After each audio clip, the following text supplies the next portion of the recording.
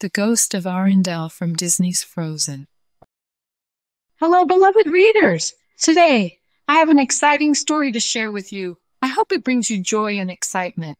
Today, Luna have a book named The Ghost of Arendelle from Disney's Frozen. I think they're so pretty. I hope you guys really enjoy it. I love it. Please give this video a like if you enjoy it, and don't forget to subscribe to Kid channel for more stories. Thank you for reading.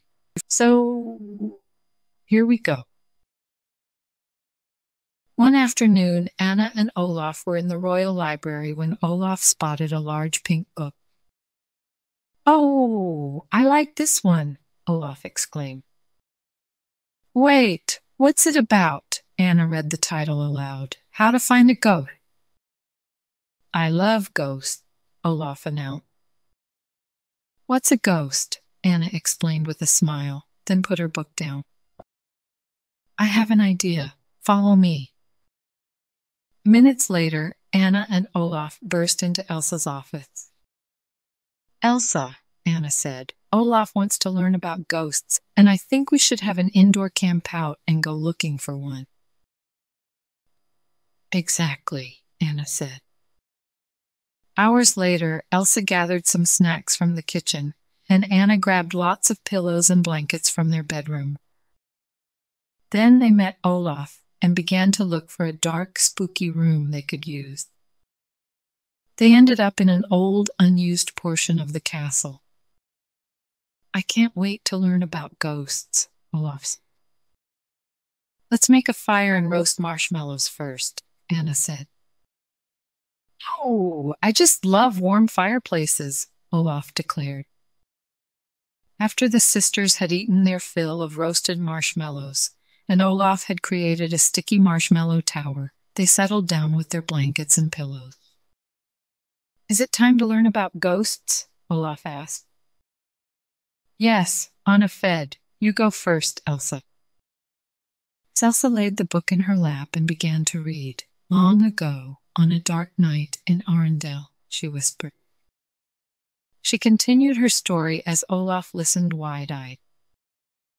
A while later, Elsa heard a snort. Anna had fallen asleep. Well, Olaf, I guess my ghost story made Anna pretty tired. Come to think of it, I'm tired too, Elsa said as she yawned and snuggled down under her blanket. Maybe we'll find a ghost tomorrow. I'd like to meet a ghost, Olaf said before blowing out the candle. Soon, both sisters were sound asleep, but Olaf couldn't rest. He wanted to meet a ghost as soon as possible. As he looked through the book, he remembered something Elsa had read to him. Apparently, ghosts got lonely and wandered around at night. Sometimes I get lonely and wander around at night too, Olaf said. Maybe the ghost and I could wander together. As Olaf walked down the hallway, he noticed how dark it was. The only light came from the windows. He looked right and left, up and down, but he didn't see any ghosts. Hello, Olaf said aloud. Ghost, I'm here to be your friend. Nobody answered. Olaf turned a dark corner at the end of a hallway, and then he tumbled down a staircase.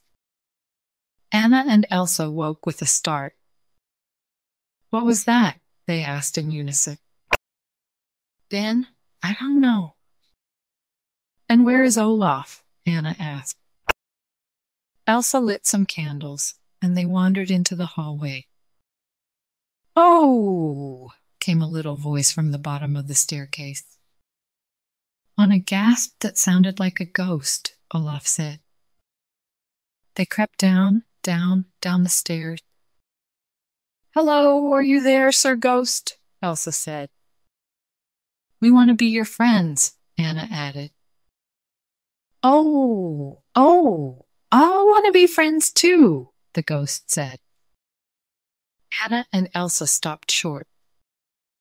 Are you ghosts? the ghost said. Wait, said Olaf suspiciously.